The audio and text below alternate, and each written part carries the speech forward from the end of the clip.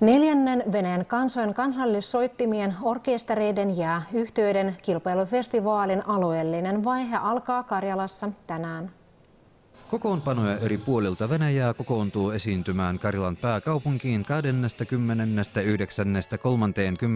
ensimmäiseen lokakuuta. Ne kaikki ovat yhtyöitä ja orkestereita, jotka soittavat vanhoilla alkuperäisillä perinteisillä kansallissoittimilla. Kaikki kokoonpanojen jäsenet tapaavat juhlallisissa avajaisissa Petroskoissa tänään. Sen yhteydessä vieraat saavat mahdollisuuden tutustua seutumme ainutlaatuiseen kulttuuriin. Lauantaina pidetään kilpailuesiintymisiä eri sarjoissa, kuten lasten ryhmät, opiskelijoiden kokoonpanot, aikuisten amatööriyhtyöt ja orkesterit sekä kunnalliset yhtyöt ja orkesterit. Sunnuntaina festivaalin päätöspäivää kruunaa gaala-konsertti Zvuchit Rassia eli Venäjä soi. Kaikki tapahtuman osallistujat nousevat Karjalan kansallisen teatterin näyttämölle. Katsojille tarjoutuu ainutlaatuinen mahdollisuus kuulla ensimmäisenä neljännen yleisvenäläisen monikasvoinen Venäjä-kilpailufestivaalin alueellisen vaihteen voittajien nimet.